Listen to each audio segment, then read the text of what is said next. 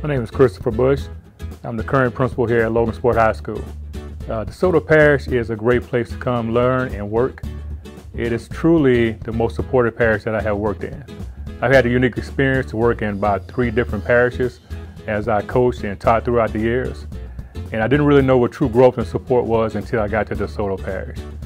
Uh, DeSoto Parish gave me the opportunity to get into administration as I decided to leave coaching. And that opportunity was probably a life changer uh, experience for me because it allowed me to grow and become more than what I thought. I thought originally I would be a lifelong coach, but when I got here, the support that they gave me to become an administrator has pushed me to the level that I am now. Uh, I didn't really learn what true support and growth was until I got to the DeSoto Parish. Uh, that was one of the reasons that I was attracted to this parish. I think that's a reason for anybody who wants to really grow and become the best teacher they possibly can be, they should come here to DeSoto Parish. Because this is where you can grow, you'll learn, you'll collaborate with everybody within your school, and you can grow to be the best, absolute best teacher you can possibly be.